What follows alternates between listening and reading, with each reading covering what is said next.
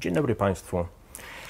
Dzisiaj książka wydana wiele lat temu. Autor Waldemar Łysiak. Bardzo popularny w latach 70., 80., ale książka zapada bardzo w pamięć. Waldemar Łysiak, cena. Dlaczego cena? Bo bardzo często płacimy bardzo wysoką cenę za podejmowane decyzje. Ale cena to również rzymski wieczorny posiłek, wieczerza. W tej sytuacji również alegoria do ostatniej wieczerzy, bo do stołu zasiada trzynastu. Dlaczego? Muszą kilku uratować, a kilku wydać na śmierć.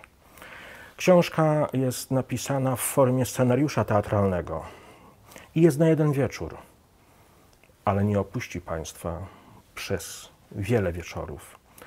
Nie najgorsze jest to, że dokonujemy oszustw, bezeceństw.